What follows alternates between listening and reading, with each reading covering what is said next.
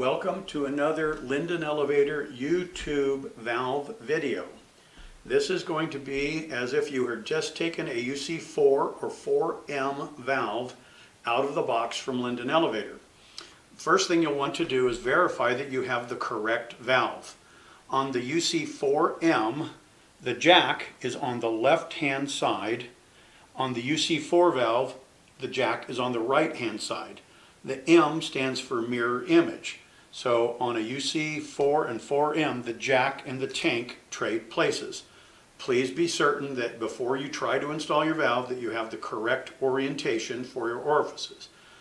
The next thing that you want to check, and it's kind of hard to read down here, but they have a sizing on all of the newer valves. On the very early versions of these valves, it is not labeled. But your newer valves will all be labeled with either STD for standard flow, or it could be E1 or E2. Those are the two reduced flow rates for this valve. E1 being the most restrictive, E2 is in the middle, and standard is the full flow version of this valve.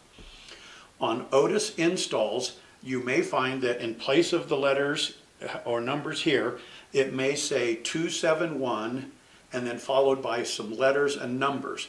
Those would be the new uh, Otis part numbers for this valve. If you have a question, call Linden Elevator. Our phone number will be at the end of the video. When you get the valve out of the box, these seven adjusters here will be very close. These adjusters, with the exception of the UL adjuster, all deal with timing on how quickly or slowly the valve reacts. So these should be very close. Please do not go to presets. You have your down leveling, down main, bypass, and pressure relief. The, these adjustments down below all deal with flow or critical measures, for example, your pressure relief. These will not necessarily be that close. Pressure relief is generally set somewhere between 350 and 500 psi. We make sure that it reacts through that scale, but there is no determinate um, setting for the pressure relief. These other adjusters are all hollow. They are generally turned fairly far in so that they don't get broken in shipping.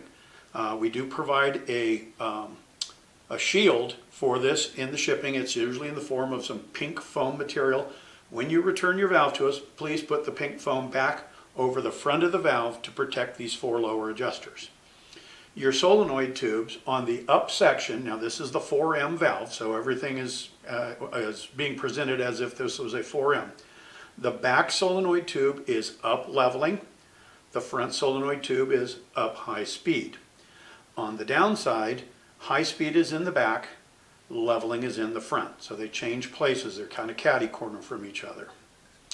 So when you take the valve out of the box, go ahead and get it installed and you're going to want to set your bypass without your coil on the slow speed solenoid on the back. Just remove that either from the controller or remove it from the valve. If you take it off the valve, be sure to put a, um, um, a big T-handle or screwdriver through it so it doesn't burn up. Your bypass, it's in for, uh, you turn in until the car moves, out until it stalls, take another half turn. If your car is already moving, there's a good chance that the bypass might be too far in. Remember, it's a hollow tube, so we turn it in fairly far.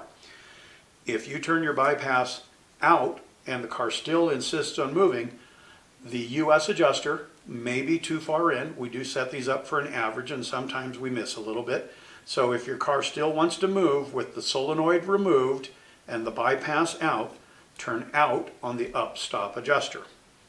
Your up leveling is in for slower feet per minute, out for more feet per minute.